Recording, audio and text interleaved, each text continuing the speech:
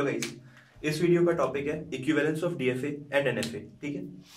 तो इक्विवेलेंस क्या इक्विवेलेंस का मतलब क्या होता है?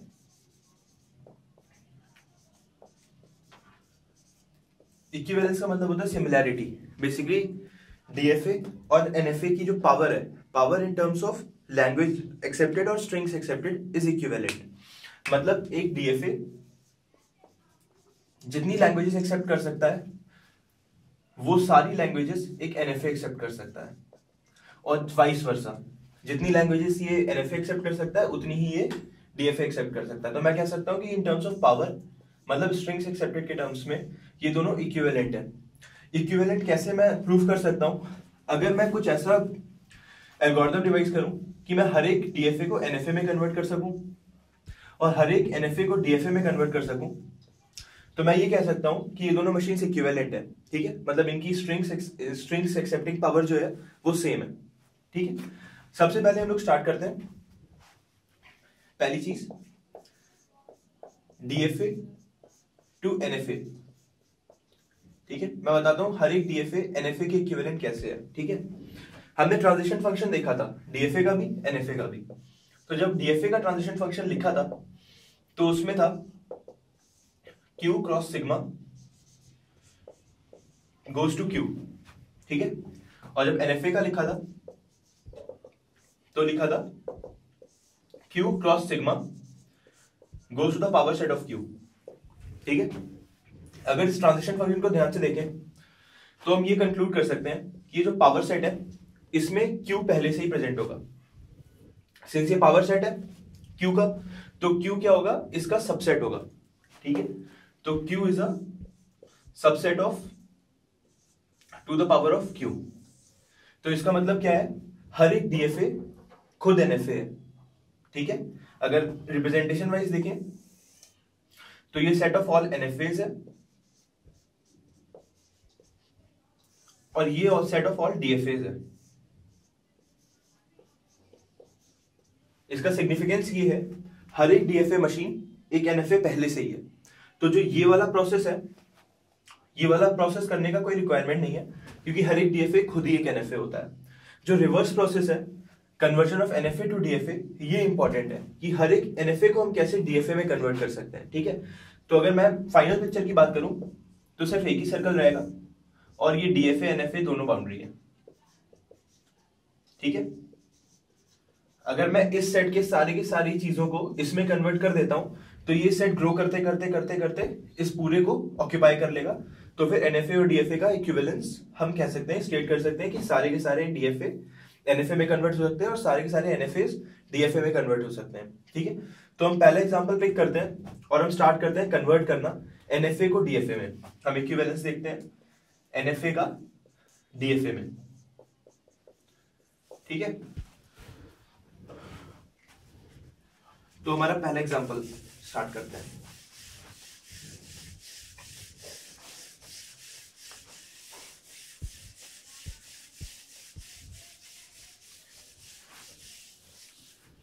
पहला एग्जांपल पिक करते हैं, जो कि यूनिवर्सिटी पॉइंट ऑफ़ व्यू से बहुत ज़्यादा इंपॉर्टेंट है।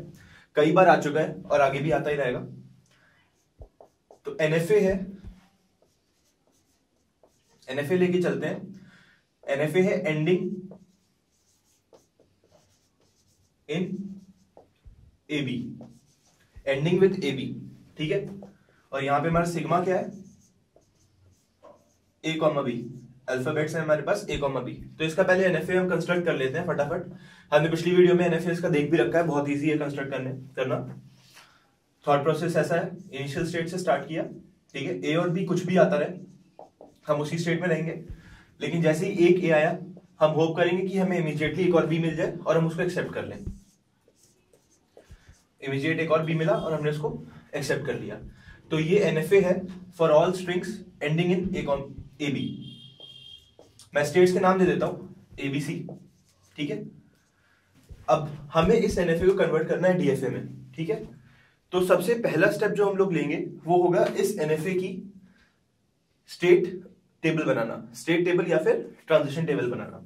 तो हम बना लेते हैं एनएफए की ट्रांजिशन टेबल ठीक है? एनएफए की ट्रांजिशन टेबल बनानी शुरू की। इस साइड में सारे स्टेट्स इधर इनपुट अल्फाबेट्स और बीच में रेस्पॉन्स स्टेट्स की बात की मैंने, सबसे पहले स्टेट ए है बी स्टेट है एंड देन सी स्टेट है। ठीक है? फाइनल स्टेट सी है, और मैं फाइनल स्टेट को एक एस्ट्रिक से मार्क कर देता हूँ। ठीक है? यहाँ पे इनपुट अल्फ़ाबेट ए है अच्छा ये एस्ट्रिक लगाना ज़रूरी नहीं था, ये सिर्फ़ ये मार्क करने के लिए कि ये फाइनल है, ठीक है? अब मैंने इसकी स्टेट टेबल कंस्ट्रक्ट करी।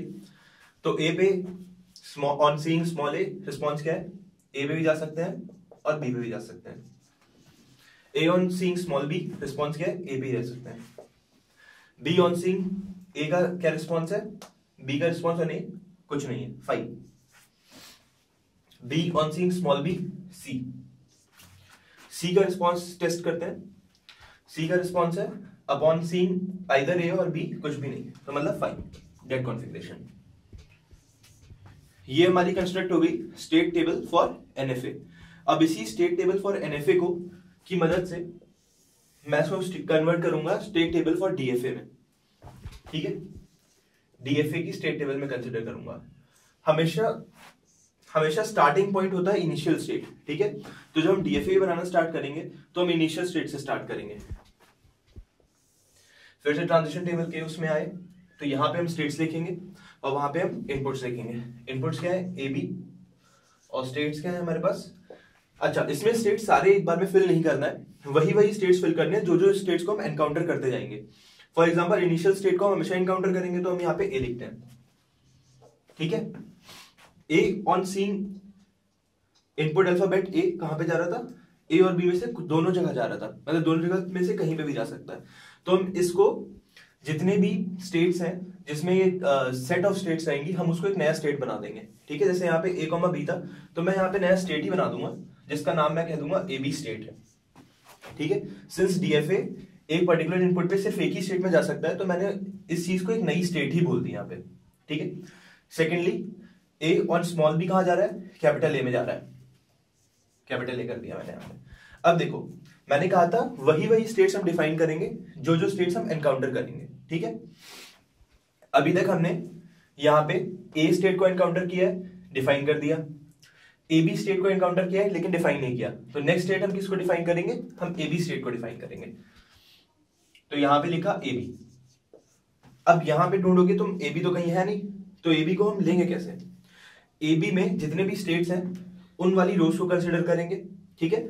और उनका मर्ज जो होगा, वही रिस्पॉन्स होंगे आगे, ठीक है? फॉर एग्ज़ाम्पल अगर मैं इस ए बी स्टेट के स्टेट पे रिस्पॉन्स देखूँ ए का तो मैंने ए और बी को, की रोज को देखा, ठीक है? उसके बाद ए पे उन दोनों की रिस्पॉन्स को मर्ज कर दिया। तो A comma B comma five five का कोई मतलब नहीं है तो हम खाली क्या लिखेंगे? ए बी लिखेंगे। कहा जा रहा है? ए बी पे जा रहा है है ना? फाइव कोई एडिशनल अलग से स्टेट नहीं होती है, वो डेट कॉन्फ़िगरेशन को रिप्रेजेंट करता है। अच्छा अब ए बी का रिस्पॉन्स ऑन बी क्या है? ए कॉमा सी ठीक है? तो मैं एक नई स्टेट बना दूँगा, उस स्टेट का नाम होगा ए सी ठीक है? जस्टिफाइड है? उसके बाद, अब मैंने फिर से देखूँगा कि मैंने कोई नई स्टेट एनकाउंटर की है कि नहीं की है, इस डीएफए में। ए के लिए डेफिनेशन दे रखी है ए बी को डिफाइन कर दिया है, ठीक है? अब नया क्या है? एसी एसी की डेफिनेशन अभी तक मैंने प्रोवाइड नहीं की है। तो मैं नेक्स्ट स्टेट कौन सी डिफाइन करूँगा? एसी सिमिलरली जो मैंने ए बी में प्रोसेस फॉलो किया था, वही मैं इसमें करूँगा। मैं ए की रो पे जाऊँगा और मैं सी की रो पे जाऊँगा और इसको रिस्पॉन्सेज के लिए मैं मर्ज कर दूँगा। ठीक है? तो जब मैंने ए के लिए इन दोनों को मर्ज किया तो नई स्टेट क्या आई? A B I. ठीक है? सिमिलरली जब मैंने बी पे रिस्पॉन्स चेक करने के लिए इन दोनों को मर्ज किया तो खाली ए आया। क्योंकि ये फाइव है। तो ये क्या आ गया? ए आ गया।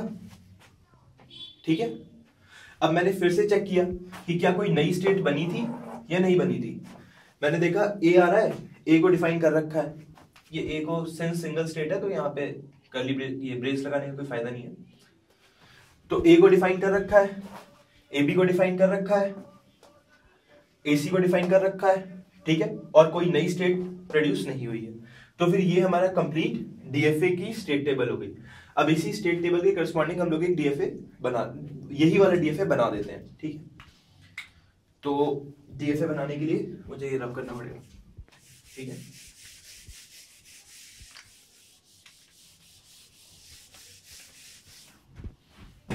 तो देखो, इस स्टेट टेबल के करस्पॉन्डिंगली मुझे डीएफए बनाना है। डीएफए में स्टेट्स कितनी है? तीन है ए ए बी और ए सी तो मेरे पास स्टेट हो गई ए ठीक है?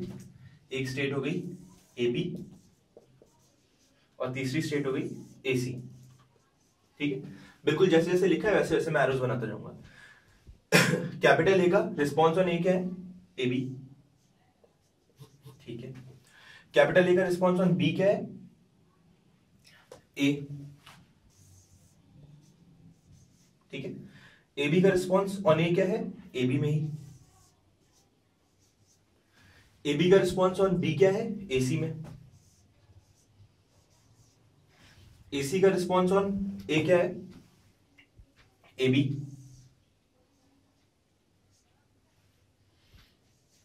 और ए सी का रिस्पॉन्स ऑन बी क्या है? तो हमारे पास ए में।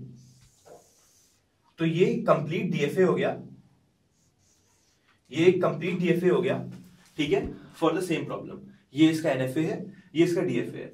अच्छा डीएफए में हम देखेंगे फाइनल स्टेट्स कौन कौन सी होती हैं। हर एक स्टेट फाइनल हर वो स्टेट फाइनल है, जिसमें एनएफए का फाइनल वाला स्टेट आ रहा हो। फॉर एग्ज़ाम्पल यहाँ पे सी फाइनल था। जहाँ जहाँ भी सी होगा, जिन जिन स्टेट्स में भी सी होगा, वो सारी स्टेट्स क्या हो जाएँगी? फाइनल हो जाएँगी। फॉर एग्ज़ाम्पल यहाँ पे सी था। तो ये वाली स्टेट एसी क्या हो जाएगी? फाइनल स्टेट हो जाएगी। ठीक है? तो ये वाली स्टेट क्या हो जाएगी हमारी? फाइनल होगी। फाइनल को डिसाइड कैसे किया है? एनएफए में जो फाइनल स्टेट है यहाँ पे सी है। अब सी जिन जिन स्टेट्स में प्रेजेंट होगा, वो सारी की सारी स्टेट्स क्या हो जाएँगी? फाइनल हो जाएँगी, ठीक है? तो उस हिसाब से मैंने देखा, इस वाली स्टेट में सी नहीं है, ये वाली स्टेट में भी सी नहीं है तो ये नॉन फाइनल स्टेट है। इस वाली सी इस वाली स्टेट में सी है तो ये फाइनल स्टेट हो जाएगी।